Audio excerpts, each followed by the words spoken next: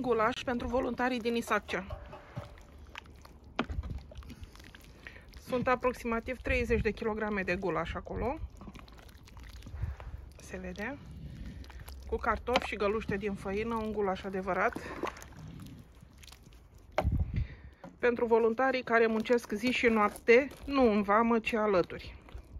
La sortat haine, la sortat ajutoare, încărcat și descărcat.